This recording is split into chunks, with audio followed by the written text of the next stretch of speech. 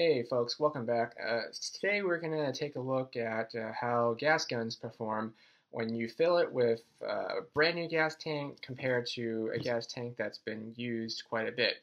This one is significantly lighter. Uh, most of the gas is used, but you can still feel it uh, when you uh, tilt it back and forth. You can feel like the liquid kind of, the compressed liquid kind of falling from side to side here. Uh, compared to this one, when you pick it up, it's a lot heavier, um, and you really can't feel the liquid because it's uh, pretty much filled to the top. Now, the question is, is there a difference uh, between these two? And um, would you really, you know, when would it be a good idea to replace these tanks and dispose of them properly?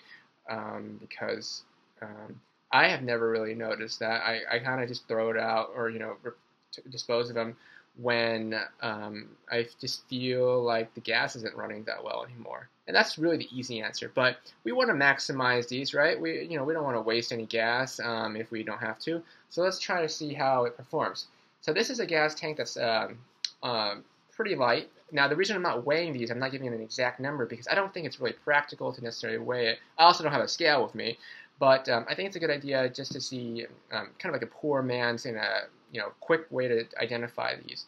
So if you're at home and you're using these or on the field, for example, you can just kind of gauge it and see, all right, that's still good. In my sense, I feel like if you can feel there's some gas or some liquid, compressed liquid rolling back and forth when you're um, turning it upside down like this, that probably is um, a good sign.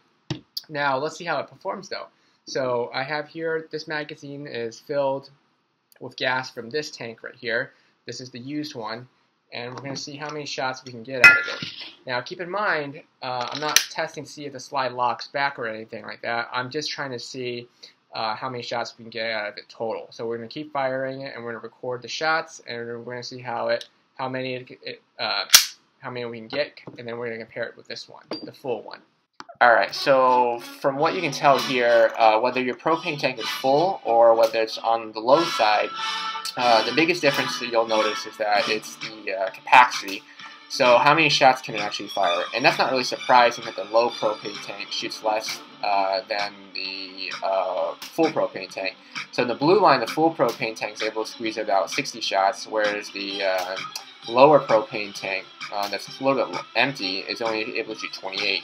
So that's not surprising. What is kind of cool though is that notice that when it's able to fire, regardless whether it's full or on the low side, it still shoots at the same performance. So um, the only difference you'll notice that it shoots less of it, but at the same FPS. So that's kind of a cool um, thing to note there, um, whether you're high or low.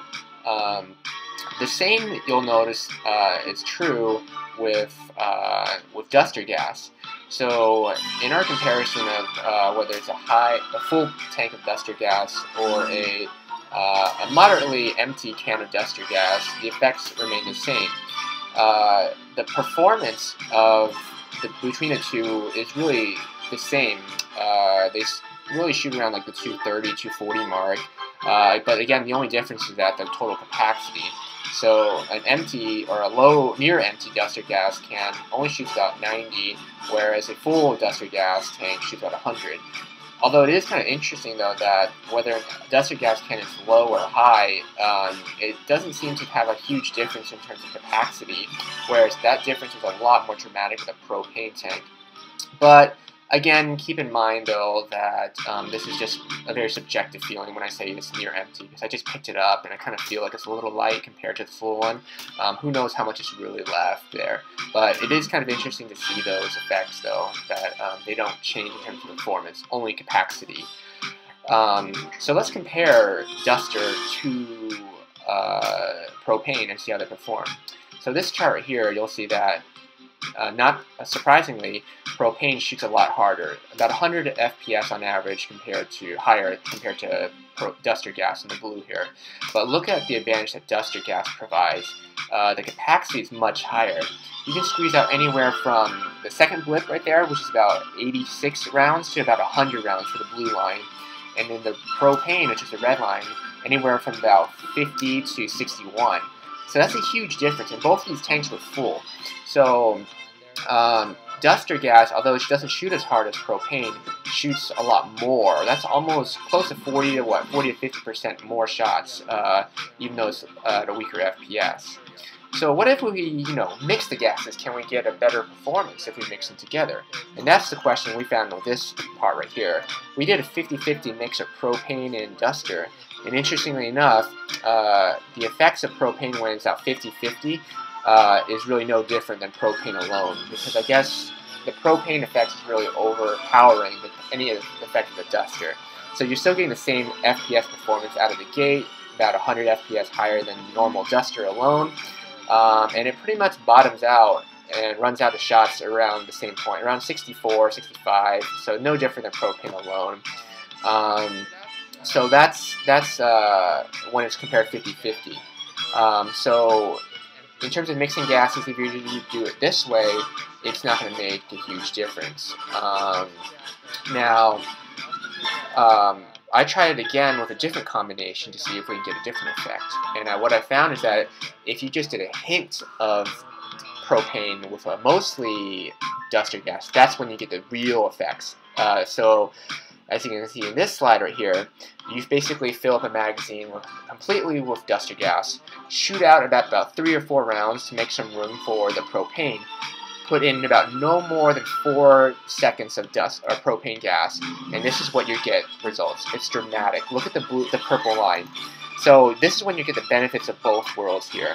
So your initial shots are going to be higher than duster, although a little bit lower than propane, but the price you, the benefit you gain from this is that you get a higher capacity. So instead of shooting, you get higher than duster gas in terms of FPS performance, but you get more capacity than propane. Uh, so it falls right in between of both groups right there, which is really cool. Um, so that's just the magic ratio you need to go through in order to get the best of both worlds right there.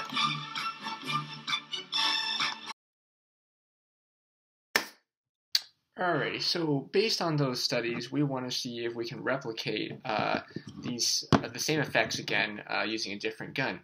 Uh, since all those uh, previous uh, results that you saw were ran using the WE Glock 19, let's try it with a different gun um, and see if that affects it or um, so we remember we want to be able to replicate this. You know, one study or you know really one test doesn't really show a whole lot. It gives us ideas, but it makes those results more valid, so to speak, if we can run it again and replicate the same thing. So I have here the Tokyo Marui uh, Glock 26, uh, the one of the plastic slides still.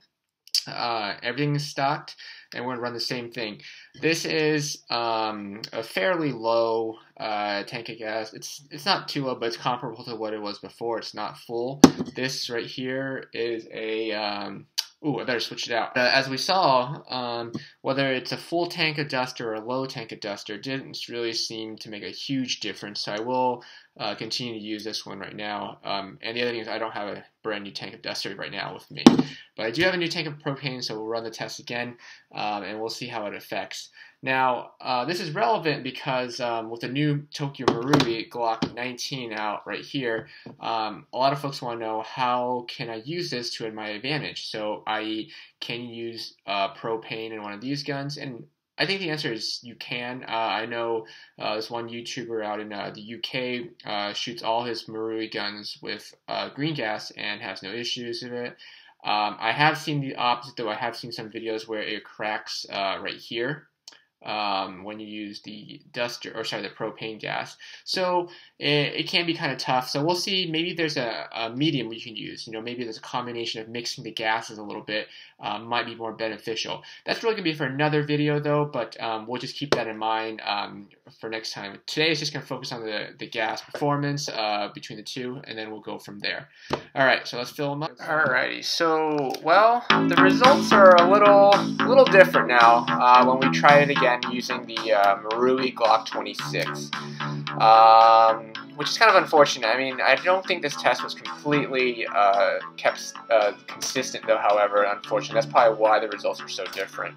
Um, so I ran the original test back in Virginia um, with the WE Glock. So today I ran this test in Seattle in Washington, and um, it's a lot colder here right now. We're in the middle of winter where I ran the test initially in Virginia in the summer out there. So I think um, that could be one reason. The second reason is the Marui Mag. I am having some issues with loading it in terms of filling with gas. But in a nutshell, what we're seeing is that the Duster gas, uh, again, it's a low can of Duster gas, did perform outperform in terms of capacity, about 51 shots. Um, again, it was on the lower side. It was a little bit cooler. I did try warming it up a little bit, um, whereas I didn't warm the propane tank. Uh, so that is a little bit some confounding factors right there. Um, I was only, and the propane tank was also low, um, not a full tank. Uh, so I was only able to get about 30 shots out of this one, um, out of the Glock 26.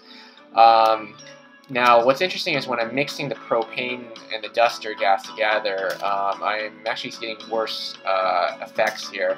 It doesn't seem to be getting the same benefits in terms of capacity as we saw before, but I really think it's because in this case I was kind of running out of gas, and plus the colder weather was kind of taking a toll on the performance of these guns. So, uh, I don't think this disproves our results at the beginning, but I think a lot of other factors plays into account of how you can best use these gas efficiencies, um, especially with the temperature being the biggest factor. Um, so you know, maybe during colder weathers, you might want to use a little bit more propane to get more benefits out of it. Um, whereas when it's warmer, uh, you can probably use less propane and use mostly duster gas to get the more benefit, most benefit out of it. Um, all right, well, hope you folks found this stuff helpful. Um, let me know if you have any questions or if you want to see something else test or you want to see more repeat tests of the same stuff. Uh, be more than happy to do that. Um, as always, uh, give us a thumbs up, uh, subscribe to our channel, and uh, you know, hope you all enjoy the content. See y'all next time.